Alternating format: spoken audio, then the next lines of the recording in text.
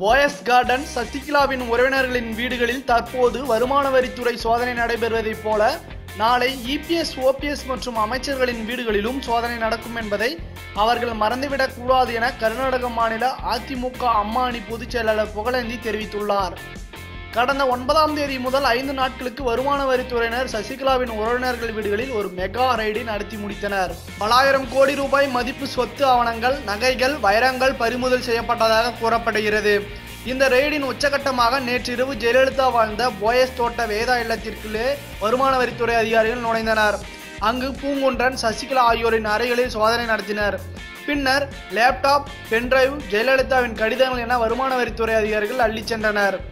இது குறித்து செய்தியாளரிடம் பேசிய புகழேந்தி மறைந்த முதலமைச்சர் ஜெயலலிதா வாழ்ந்த போயஸ் கார்டன் வீட்டில் வருமான வரித்துறை அதிகாரிகள் நடத்திய சோதனை வேதனை அளிப்பதாக தெரிவித்தார்.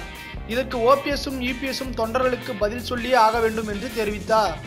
ரெய்டு நடக்கும்போது எந்த அமைச்சரும் நிர்வாகிகளும் போயஸ் கார்டன் வராதது வேதனை அளிப்பதாகவும் தெரிவித்தார். முதலமைச்சராக ஜெயலலிதா இருந்தபோது அவரின் கருணை பார்வைக்காக போயஸ் கார்டனில் காத்து கிடந்தவர்கள் இன்று சோதனை நடந்தபோது வராதது அவர்கள் பதவி சுகத்துக்காக எதையும் செய்வார்கள் என்பது தொண்டர்களுக்கு புரிந்து விட்டது இன்று எங்களின் வீடுகளிலும் சசிகலான் வீடுகளிலும் நடந்த சோதனை போல ஓபிஎஸ் சிபிஎஸ் மற்றும் அமைச்சர் வீடுகளில் விரைவில் சோதனை நடப்பது உறுதி என்று புகழேந்தி தெரிவித்தார். இன்னும் எங்கள் தமிழ் சிறை சேனலை சப்ஸ்கிரைப் பண்ணாமல் இருந்தால் கீழே உள்ள ரெட் கலர் சப்ஸ்கிரைப் பட்டனை கிளிக் பண்ணி மறக்காமல் பெல் ஐக்கானும் கிளிக் பண்ணுங்கள்